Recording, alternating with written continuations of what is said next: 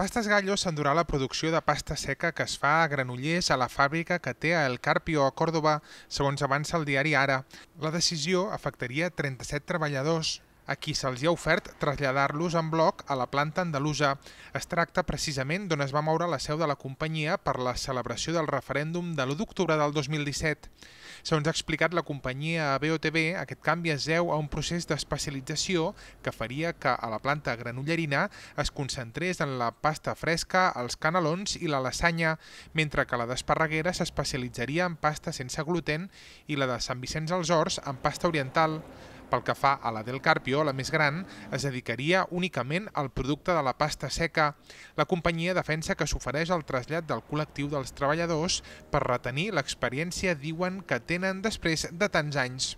Tot i això, des del comitè d'empresa estan a l'expectativa. Està previst que el pròxim 15 de febrer s'obri una taula de negociació. En un principi, els treballadors tenen temps fins l'abril per decidir si accepten el trasllat a la planta andalusa. En cas contrari, l'empresa estudiaria reubicar-los en alguna de les altres plantes catalanes. Entrada, estamos en contra de la decisión de la empresa porque hay un motivo principal que es la, la, alta temporalidad que tienen ahora mismo en la factoría del Carpio y la saturación de todas las líneas de trabajo que tienen.